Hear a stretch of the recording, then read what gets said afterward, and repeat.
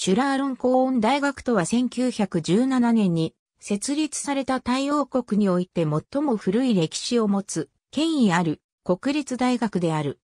現在19の学部と多数の研究施設があり、キャンパスはバンコク市街に位置している。大学名はチュラーロンコーン大王に由来し、後継者であるワチラーウッド王によって設立された。国内第1位である。名称は他の大学ではマハーウィッタヤーライと称するのに対して、チュラーロンコーン大学のみ、伝統的に、チュラーロンコーンマハーウィッタヤーライという風に、大学の語に相当する、マハーウィッタヤーライが、固有名詞の後ろについている。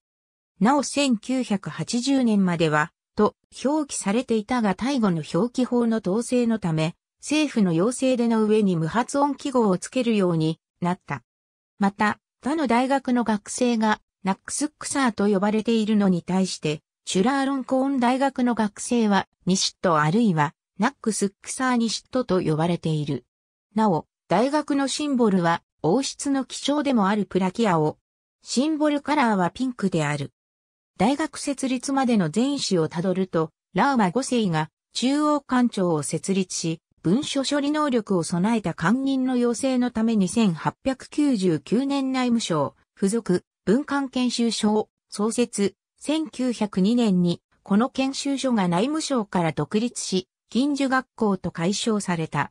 続く、ラーマ6世は管理要請の教育機関として文官学校を創設した。さらに、イギリス留学の経験から高度な技能者養成の必要性を感じており、総合的な高等教育機関設立構想計画を推進し、1917年に医学部、行政学部、工学部、分理学部として結実し、大学として発足させた。キャンパスはバンコク市街地の広大な土地を有し、すぐ隣には若者が集まることで有名なサイアムスクエアがある。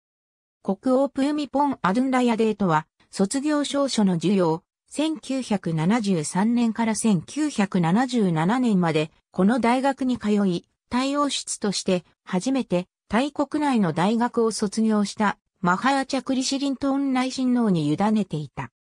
1987年の創立40周年を迎えた時は学部数15、学生総数18,460人、専任教官数2,416人でタイ最大の総合大学になった。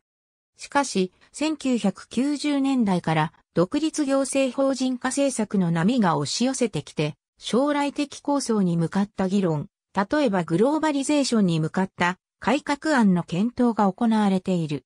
1934年に設立されたタンマサート大学と並び、日本でもよく知られるタイを代表する大学である。QS アジアユニバーシティランキングス2016アジア第45位、国内第1位である。QS 世界大学ランキング2018では、世界第245位、国内第1位である。QS グラデュエートインペロイビラティランキングス2016では、世界第151から200位、国内第1位である。センターフォワールドユニバーシティランキング2016では、世界第320位、国内第1位である。Round University Ranking 2016では、世界第424位、国内第1位である。 RUR Reputation Rankings 2016では、世界第182位、国内第1位である。